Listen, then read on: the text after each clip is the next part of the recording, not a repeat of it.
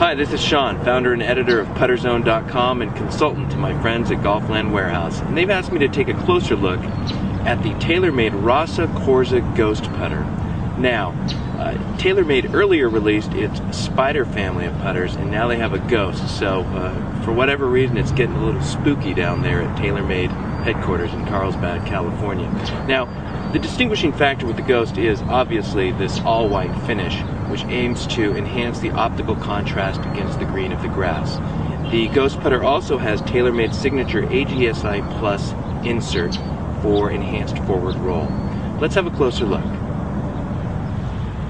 Now where the TaylorMade Ghost putter earns its cabbage is, indeed, in matters of alignment. You have this all-white finish which provides a really striking visual contrast against the grass, and that gives you a really clear picture of the leading edge of the face of the putter in relation to the target line. You also have three black alignment lines along the crown that provide further assistance in setting up your putt. And you also have this circular cutout in the flange that echoes the ball and provides further aiming reference. So what you have here really is a total alignment package with this innovative white finish that really stands out from the crowd.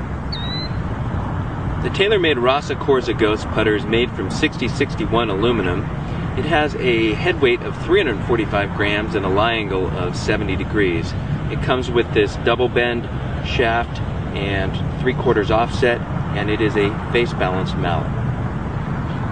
What's sweet about the TaylorMade Ghost putter is, no surprise here, the alignment features. I really do like the contrast of the white against the green.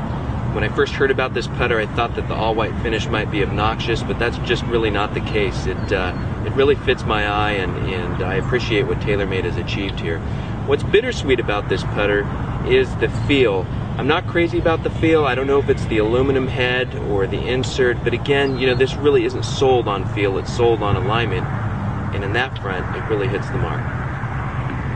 And that's a wrap on our TaylorMade Rossa Corza Ghost putter review.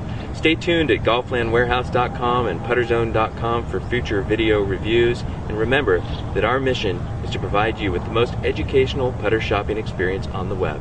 We'll see you next time. Boo.